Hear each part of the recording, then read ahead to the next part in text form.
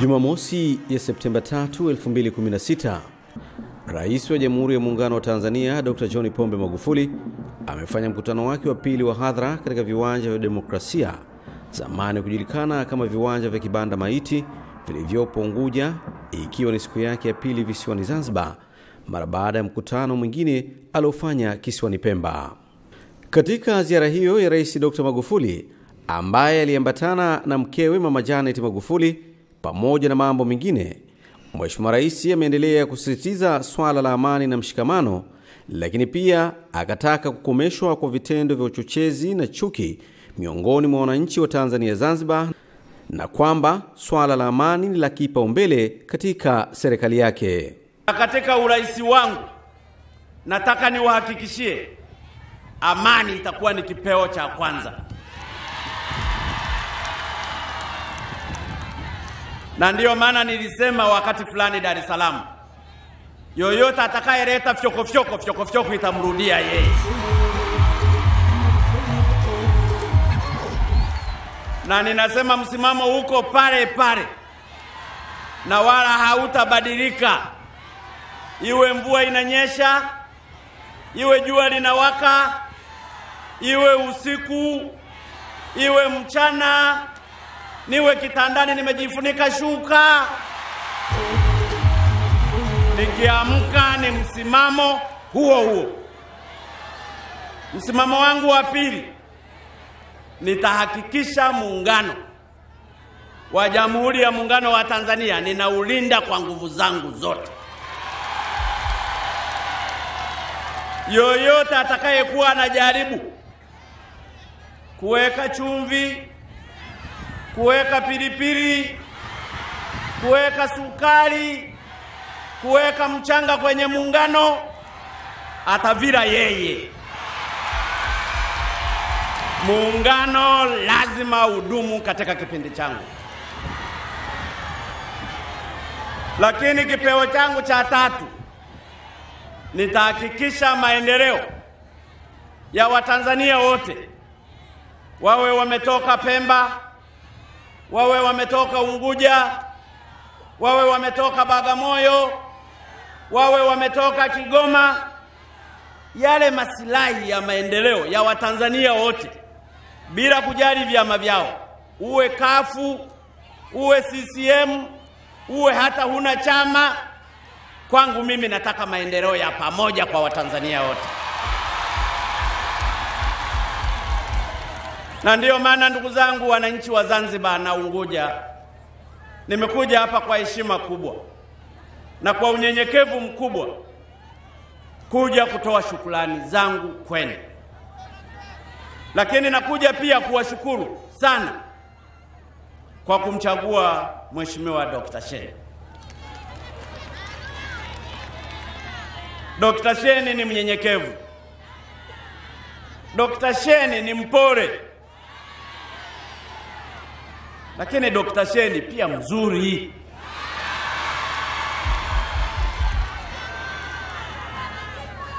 Dr. Sheni mkarimu. Dr. Sheni anawapenda Watanzania wote. Sijawahi kuona makamu mwenyekiti wa TADEA amezungumza hapa, rais uchaguliwe upate asilimia tisini na mbili bado unachukua watu wa vyama vingine unawaingiza kwenye serikali yako. Mimi nilipata asilimia hamsini na nane hakuna wa chama kingine mle ndani yangu.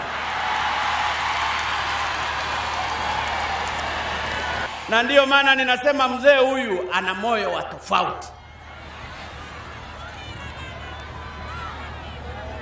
Lakini katika kudhihirisha huyu baba ana moyo wa tofauti, na inawezekana wakawa wachache sana, na mimi naomba Mungu anisaidie angalau nipate hata karobo tu ka moyo wako.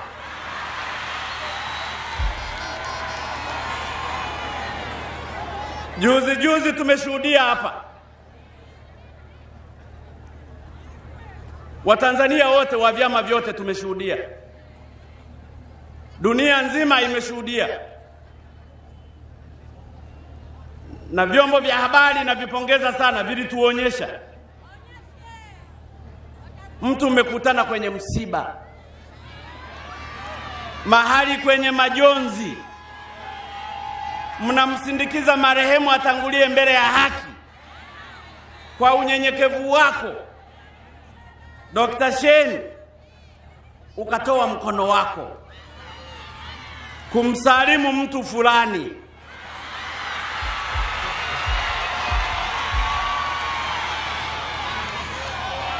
huyo mtu akakatalia mikono yake.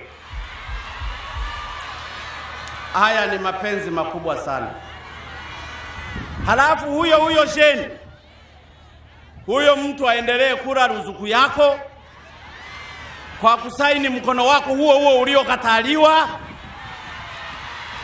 Huyo huyo akiugua unampeleka hospitali kwa kusaini posho ya kwenda kule hospitali.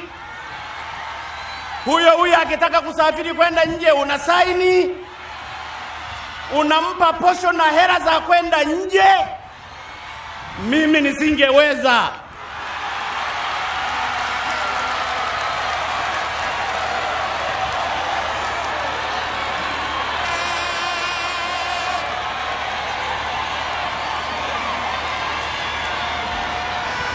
Nasema ukweli kwa sababu msema kweli ni mpenzi wa Mungu. Ni utoe mkono wangu hivi ukatae, halafu kesho niende ofisini nikajikunje kusaini kwa sababu ya maposho yako yaya ketunene yaya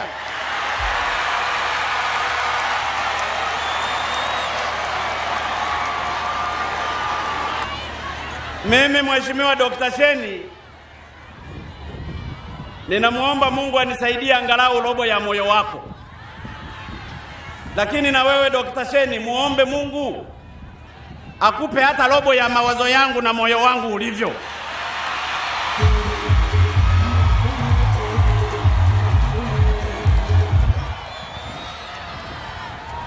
ili Zanzibar hii iende. Jamani, nasema uongo? Wangapi wananiunga mkono hili? Ninafahamu katika mji huu na hapa Zanzibar kuna tatizo la maji. Mwezi uliopita tulitembelewa katika nchi yetu na waziri mkuu wa India. Nimekaa naye, tumezungumza naye na wataalamu wetu, tukawaeleza tuna tatizo la maji Zanzibar. Waziri mkuu yule amekubali kutoa fedha dola milioni tisini na mbili ambazo ni sawa zinakadiriwa kuwa bilioni mia mbili kwa ajili ya kushughulikia maji hapa Zanzibar. Nataka niwaahidi huu mradi unakuja, tulisha saini, prosesi zingine zinapata, ili fedha zinazokadiriwa bilioni mia mbili zinakuja hapa. Tumekopa sisi serikali yote, na nilimhusisha sana Mheshimiwa Dr. Sheni ili tatizo la maji hapa Zanzibar tulimalize. Hayo ndiyo Watanzania wanataka. Kwa hiyo wewe wakunyime mkono, lakini watu wa Zanzibar wapate maji. Hicho ndicho Watanzania wazalendo hawa maskini wanahitaji maji. Mheshimiwa Sheni, nakupongeza pia. Kuanzia mwaka jana serikali yako nayoiongoza ulikaa ukazungumza vizuri na watu wa World Bank ukapata dola milioni 38 ambazo zinahusiana na mambo ya urban service kutoka Benki ya Dunia. Fedha hizo zimeanza kutumika. Mimi leo nimeona taa zimeanza kuwekwa barabarani. Mtu aliyekuja miaka mitano iliyopita zile taa za sora hazikuwepo. Hizo hazikuletwa na watu wanaokutukana na kukunyima mikono.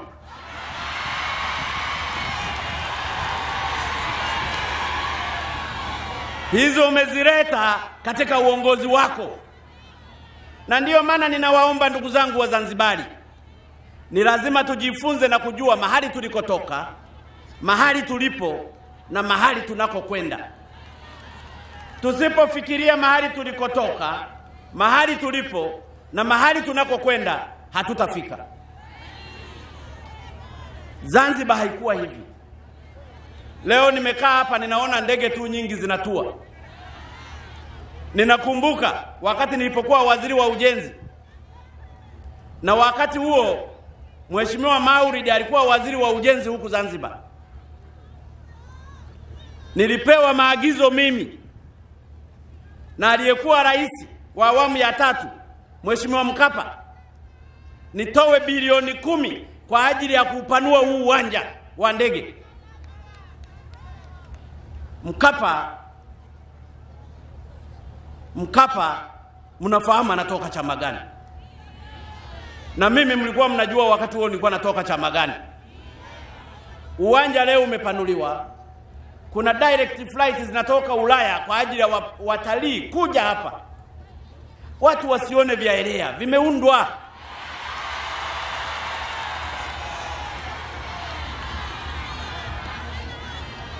Kwa wale wazee wetu ambao wanafahamu Zanzibar imetoka wapi, watakuwa ni mashahidi kwamba uwanja wa ndege ule ulikuwa unapokea ndege ngapi kwa siku.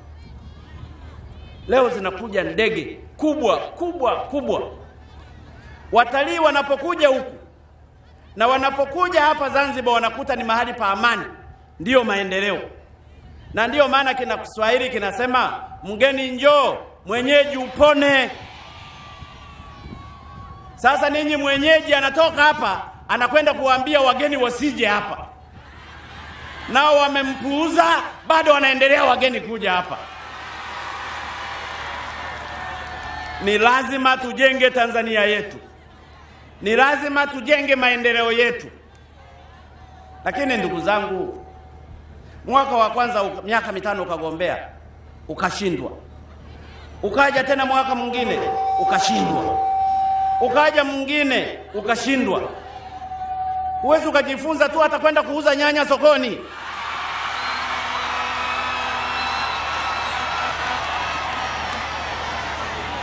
Kwamba biashara hii imekataa.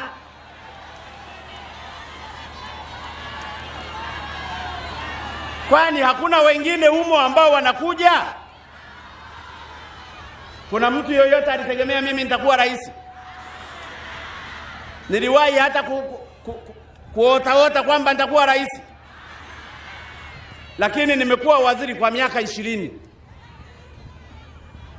Sikujaribu hata siku moja kugombea kwa sababu nilijua vyeo hivi vinaletwa na Mungu. Kama Mungu amesema no, ni no. Hata ungezunguka namna gani, hata ungefuga ndevu namna gani, hata ungenyoa nywele namna gani, kama Mungu amesema hapana, ni hapana tu. Kwa hiyo tumwachie nafasi Mungu, naye achague watu wake na ndiyo maana nasema Mheshimiwa Dr. Sheni, wewe fanya kazi, una sapoti ya Watanzania wote, una sapoti ya Wanapemba, una sapoti ya Wanaunguja, una sapoti ya Wanatanzania bara. Na bahati nzuri mimi, wewe ni bosi wangu. Ulipokuwa makamu wa rais, mimi nilikuwa naibu waziri, baadaye nikawa waziri, uliniongoza vizuri. Kwa hiyo ninakufahamu uchapakazi wako. Lakini ndugu zangu, katika miradi ambayo imeletwa hapa, kuna mradi mwingine wa maji ambao unaendelea sasa hivi ambao unashughulikiwa na Benki ya Maendeleo ya Afrika ADB wa dola milioni ishirini na moja ambao unahusisha kuchimba visima kumi na moja na kukarabati visima vingine ishirini na moja na kutandaza miundombinu ya mabomba ya zaidi ya kilomita 153. Haya yanaletwa kwa sababu Mheshimiwa Dr. Sheni ameamua kuleta maendeleo, sio kuleta fujo. Na ndiyo maana ninawaomba sana ndugu zangu wa Zanzibari, tushirikiane na rais huyu ambaye ameonyesha na moyo wa tofauti kuliko mioyo mingi ambayo sisi wengine tunayo. Ana moyo wa uzalendo wa kutaka kufanya kazi. Amebakiza kipindi chake cha miaka minne na ushee, tumpe nafasi afanye yale yanayotakiwa kufanya. Wazanzibari mnahitaji maendeleo.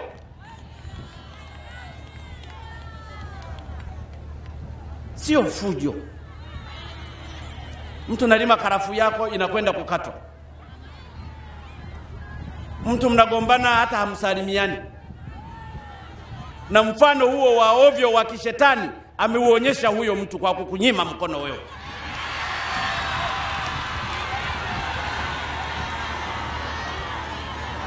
Ni lazima Watanzania na Wazanzibari tuachane na moyo wa namna huyo. Hakuna dini yoyote inayofundisha chuki duniani.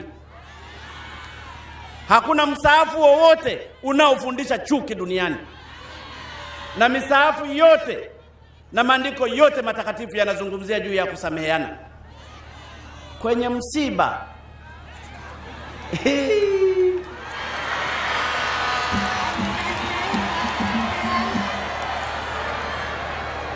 Naona hata Ulaya huko wanashangaa. Lakini hilo ndiyo mimi ninawaomba ndugu zangu wana kafu, wana CCM, wana Tadea, tunahitaji maendeleo ya nchi yetu. Tunahitaji kuitunza hiyo amani tuliyonayo, ili wawekezaji waendelee kuja hapa, ili dhana yetu ya kuifanya Zanzibar iwe na viwanda ifanikiwe. Ninafurahi maendeleo haya yanayopatikana na ninaambiwa kuna fedha zingine bilioni kumi zitakuja kwa ajili ya ukarabati barabara. Nataka nikija hapa siku nyingine nije kufungua viwanda ili vijana hawa, vijana wa kafu, vijana wa CCM, vijana wa Ukawa, vijana wa Tadea, hata wale ambao hawana chama wakafanye kazi, wakapate ajira. Tunataka tutengeneze ajira za Watanzania. Hakuna mtu anayekula lichama. Watu wote tunahitaji chakula, maisha mazuri, na maisha mazuri yataletwa pia na uwekezaji.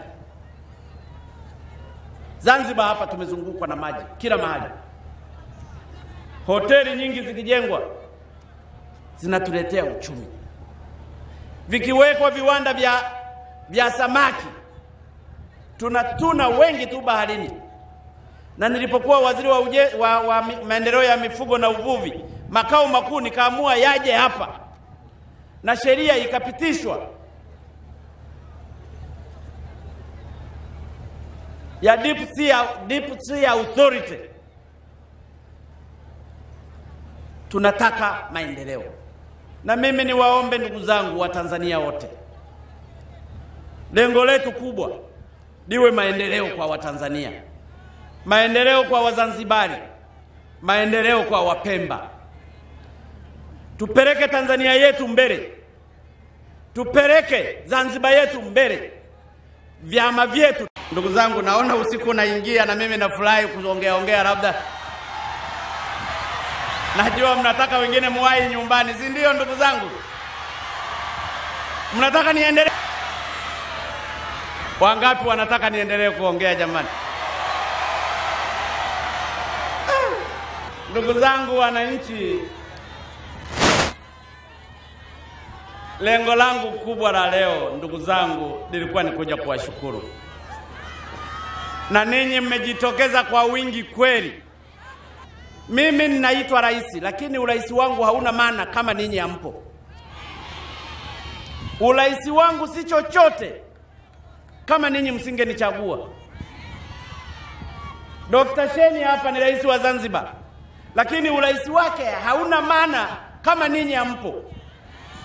Urais wake hautakuwa na faida kama ninyi mnahangaika na shida. Urais wake hautakuwa na manufaa kama ninyi mnakosa hata maji ya kunywa. Urais wake hautakuwa na faida kama ninyi hamna amani. Unalala ndani, unajua leo hijii nyumba itachomewa ma mafuta. Na ndiyo maana ninawaomba ndugu zangu, kwa heshima kubwa sana, tuitunze hiyo amani yetu, tuutunze muungano wetu, tutangulize masilahi ya Zanzibar yetu, Tanzania yetu, Unguja yetu, Pemba yetu na umoja wetu. Waasisi wetu walisimamia hayo, tuna wajibu na sisi kila mmoja mahali pake asimamie hilo. Awali akimkaribisha Rais Magufuli, Rais wa Zanzibar na mwenyekiti wa Baraza la Mapinduzi Dr. Ali Mohamed Sheni amewataka Wazanzibari kushikamana huku wakisitiza kuwa uchaguzi umekwisha. Na tume ya uchaguzi chini ya uongozi wa mwenyekiti Jesha, kazi imemalizika.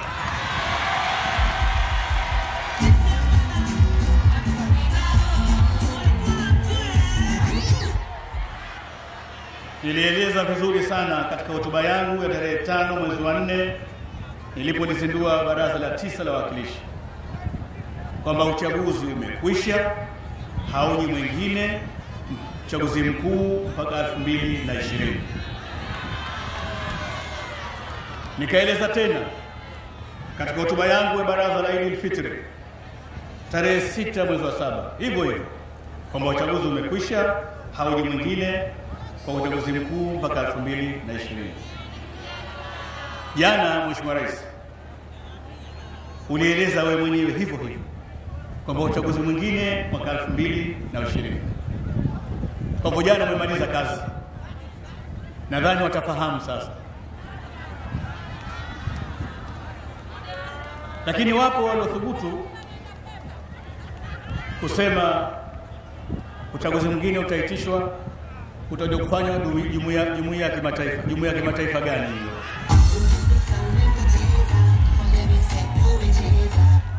Wataanzia wapi? Watamalizia wapi? Kwa katiba gani? Kwa sheria gani?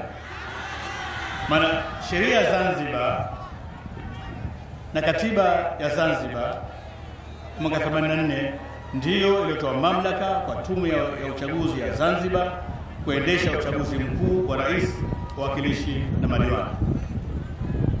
Hakuna katiba nyingine duniani, ni ya Zanzibar tu ndio yenye mamlaka ya kuitisha uchaguzi mkuu na tume ya uchaguzi ya Zanzibar. Kazi hiyo ishafanywa. Kwa hizi hadithi za mitaani, ndugu wananchi, zisikilizeni, ziwacheni hapo hapo. Ukweli tutakutana mwaka 2020 kwa uchaguzi mkuu.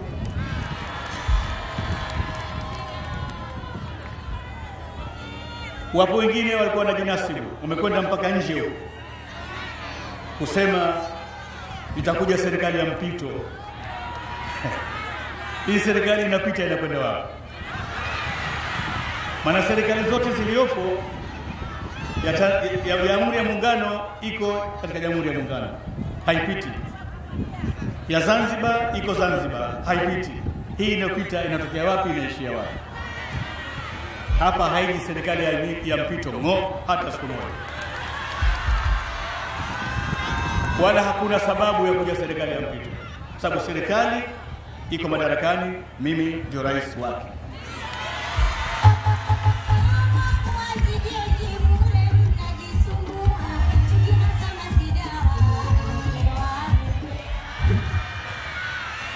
Haitokei serikali nyingine zaidi ya hii iliyopo, wala haitokuja kwa mujibu wa katiba yetu ya Zanzibar na taratibu za sheria za Zanzibar. Mheshimiwa Rais,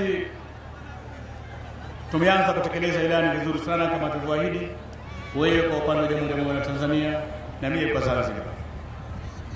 Leo kwa mara nyingine tena nataka nimshukuru sana sana sana Rais mstaafu wa ya nne wa Jamhuri ya Muungano wa Tanzania Dr. Jakaya Mrisho Kikwete kwa kushirikiana na mimi katika kuhakikisha kwamba swala la mafuta na gesi tumelipatia ufumbuzi wa kudumu.